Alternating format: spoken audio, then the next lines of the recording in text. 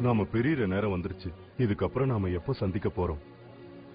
ஒரே கலையில சிறந்து விளங்குற நாம இங்க சேர்ந்து வாழ்ந்த நாட்களை மறக்கவே முடியாது. நாம பிரிஞ்சு போறதுக்கு முன்னாடி கொஞ்சம் பிராக்டிஸ் பண்ணா என்ன? பிராக்டிஸா நானும் இங்க இருந்து கிளம்புறதுக்கு ரெடி ஆகணும். சரி அப்புறம் உங்க இஷ்டம். நான் போறேன்.